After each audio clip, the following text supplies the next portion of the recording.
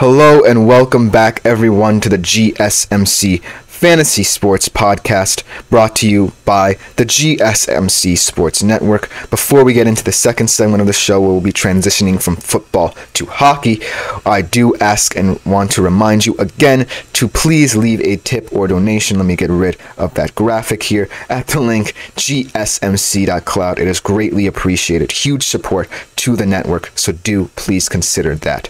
Getting into today's second segment, like I said, transitioning from football to hockey, where we have to give our due respect to the Eastern Conference representative of the Stanley Cup final, the Florida Panthers, obviously winning the Eastern Conference finals in six games over the New York Rangers. We've talked a lot about this Florida Panthers team, and we talked a lot about how they have come together as a collective unit, wanting to get back to the Stanley Cup finals like they did last year, but want to win it this time around. So, congratulations to the Florida Panthers. We will have a proper Stanley Cup Finals preview tomorrow. I know this series is set. We will give the Edmonton Oilers their due respect as well out of the Western Conference. But let's focus on the Florida Panthers and how they got to this point, returning to the Stanley Cup Finals. This Florida Panthers team is one of those teams where you really cannot find a weakness within them. They just have fantastic players that may not be stars of the league. They may not be guys who will be facing definitely in McDavid and Draisaitl, but they are well-rounded and balanced players who come together as a team, as a collective, to reach their one true goal, and that is winning the Stanley Cup obviously beating a, a, New York Rangers team that had that same desire, had been to the conference finals as well before. So Congratulations to the Florida Panthers yet again. I cannot sing their praises enough. But I just want to highlight three uh, breakout players in terms of fantasy and for the season that the Florida Panthers have that are going to be very integral to them finally breaking through and winning their first title in their history. Starting off with a player who I seem to have kind of transformed into this huge fantasy player. I, I, predicted that he would have a breakout series against the New York Rangers, and he didn't prove me wrong. Sam Reinhart, a fantastic overall player, strong in almost every facet of hockey. He is such a fantastic player to watch, and this season he uh, could do no wrong in terms of fantasy and on the ice.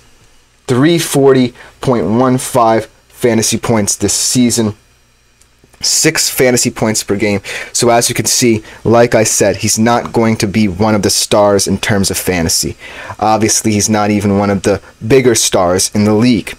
But Sam Reinhart is one of those players who you, you can't help but love, especially when you're looking for a guy, whether it be in your daily fantasy hockey team or just your fantasy hockey team proper, that will just deliver for you in every occasion and every big moment.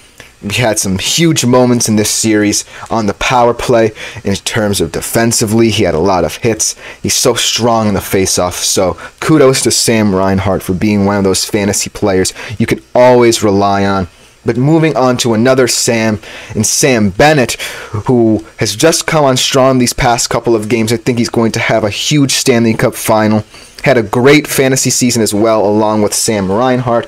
He had only 154 fantasy points this season, but he averaged 7.7 fantasy points a game. Yet another one of those guys you can just rely on off the bench as a utility option this fantasy season. And in the and come Stanley Cup final time, we'll be tasked with trying to combat an Edmonton Oilers team who is so potent offensively and on the power play in every facet of their game. Look for Sam Bennett to be one of those guys to step up for a big occasion. And coming in last, a guy who also is not necessarily a big point production, much less points than the two guys I mentioned before, but he is an integral part of the Panthers' defense that has been so good this postseason, and that is Brandon Montour. Only 129.5 fantasy points this season, but he is one of those guys in the Panthers' defense who is so reliant. He's a top level line kind of guy so look for him to be the focal point of the Panthers' defensive mindset in the series against the, uh, the, the Edmonton Oilers. But I just want to talk about the Florida Panthers as a whole. This is a team that obviously has had so much heartbreak throughout the years of their franchise. Never, ever won a Stanley Cup final. Obviously, they made it last year when no one was really expecting them to. They were not heavy favorites against the President's Trophy winning Bruins, one of the best teams statistically in NHL history, and they went out there and uh, played their butts off and swept the Bruins last year. So, just seeing how far that this team has come with with the way they've grown their players, the way they developed their players, the interesting trades they've made along the way. Sam Bennett, a guy who they acquired from the Calgary Flames a couple of years ago, immediately integrated into this team. They just never say die. And even though my rooting interest lays for the Edmonton Oilers in this series, I'm a huge fan, Oilers fan, and want to see McDavid and Draisaitl win as much as anything. I still can't help but appreciate the fact that the Florida Panthers are doing this without any true star. Obviously, you have guys like Alexander Barkov and Matthew Tkachuk, you can say, are the stars of the Florida Panthers, but they don't really have that one guy or a superstar on their team you can point to and say, hey, this guy is the cream of the crop. And that is why I so truly love the fact that they are in the Stanley Cup final. I wish them the best, but obviously, as an Oilers fan, I'm rooting for my Oilers all the way. We'll talk about that tomorrow. But congratulations to the Florida Panthers, man. They just get the job done consistently, series after series this postseason. And they are truly one of the better teams in the Eastern Conference. So I'm really hoping we'll continue to go to Stanley Cup finals in the near future. I really love how they developed this team. I cannot express that enough. Look for the three players I mentioned to have huge series. Obviously, if you're still playing daily fantasy hockey in the Stanley Cup final, look out for those three guys. But I kind of want to talk about the Rangers as well. Obviously, fantastic series. Cannot get over the hump yet again. You kind of feel for them. But in, in big moments, their big time players did not step up, and that is the difference. You know what I mean? I think that you have guys like Chris Kreider, who's a Rangers legend, but still cannot get over the hump. Mika Zibanejad had a pretty decent series, but ultimately not enough high level production. And then you have a guy in Artemi Panarin, who I was kind of imploring to get going, talking about some fantasy players for the Rangers a couple episodes ago. But it does not mean that they didn't have a fantastic series.